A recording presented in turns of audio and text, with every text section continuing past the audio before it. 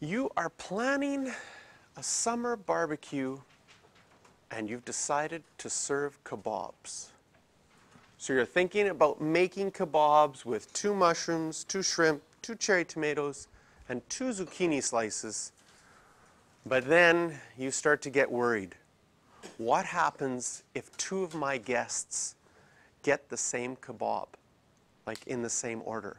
Is it like bad like grad dresses, where you go to grad and someone's wearing your same grad dress and you're like, I'm going to kill her? No, but maybe the same thing happens with kebabs. Two people get the same kebab. You know, they're on those metal skewers, which are super dangerous because they're pointy at the end. And you're, you're afraid that your guests might just start attacking each other with their metal kebabs if they get the same kebab as someone else. So you're like, oh my goodness. Well, how many kebabs could I make? Because I want, like, my barbecue is right before a Jets game. It's downtown on Donald Street. There might be a lot of people that show up. And so, how many different kebabs could I make? How is this an identical objects question? Well, we have two mushrooms, mushroom, mushroom. We have two shrimp, two cherry tomatoes, and two zucchinis. Ugh, that almost looks like mucus.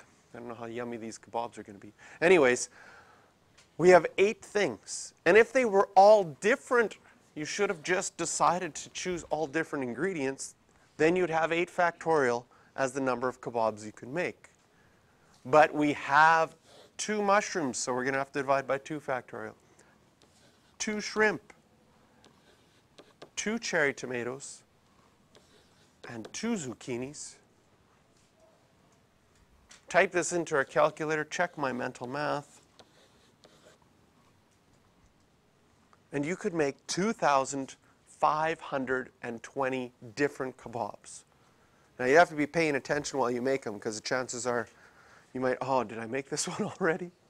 So you'd have to have a pretty systematic way of making them so you don't screw up. But you know you can't invite 2,521 people to your backyard party because then you're probably going to get a skewer fight because this happens all the time. Questions for practice on this one?